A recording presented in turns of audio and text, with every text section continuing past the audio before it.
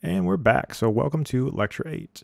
Uh, this is going to be a main focus on dynamic processing, specifically compression on a vocal or compression on drums. But what we're going to do is just work off the processing session as a whole. So, we're going to just have one session for all the different types of processing, just so you don't have to keep opening up different sessions and all that kind of stuff. So, that being said, let's just jump on it. So we have a vocal, okay? So I loaded a compressor on here. I'm just gonna use it 1176.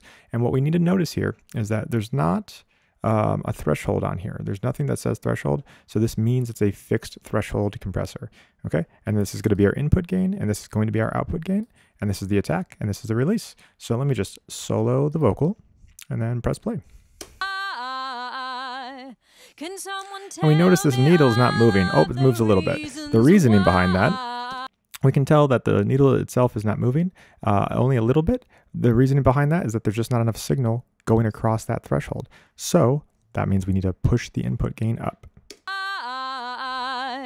Can someone tell me there we go. And that's that simple. Now what we need to do is sort of play around with the attack times and the release times to make that needle sort of jump with the music. Um, there are a lot of technical explanations of why compressors work the way that they do. So it should be stated that how much compression you use doesn't actually matter, okay? It is going to have an effect on the overall sound. However, if you like the sound of it, start messing with it, okay? And my rule for compression, uh, because things tend to be compressed a lot or not at all, um, and everywhere in between, right? So my rule for sort of compressing things is just if the needle itself is bouncing around with the music, then we're in good shape, okay? That's kind of where I start. And we'll break this down a little bit more um, in level two. To that, we'll see you on the next one.